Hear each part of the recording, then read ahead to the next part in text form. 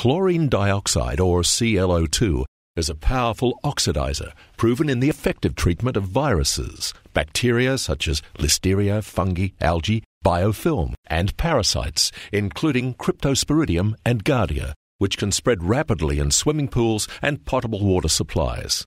ClO2 is a highly soluble gas in either gaseous state or dissolved as a liquid. It is effective in eradicating airborne spores and waterborne pathogens. Despite its name, chlorine dioxide should never be confused with chlorine, as they are two distinctly different chemicals in both structure and behavior.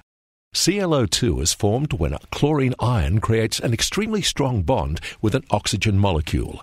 The result is a potent oxidizing and disinfecting weapon against all pathogens. It disinfects by disrupting the transportation of nutrients across the cell wall, regardless of the metabolic state of a microorganism or pH of the solution. After use, it rapidly breaks down to chloride, a common salt with no toxic byproducts. ClO2 is singularly effective against biofilm, the layer of bacterial slime which builds up in pipework, water storage tanks, and reservoirs, leading to blocked pipes and decreased water quality. It also oxidizes iron, manganese, and other metals which initially encourage the growth of biofilm.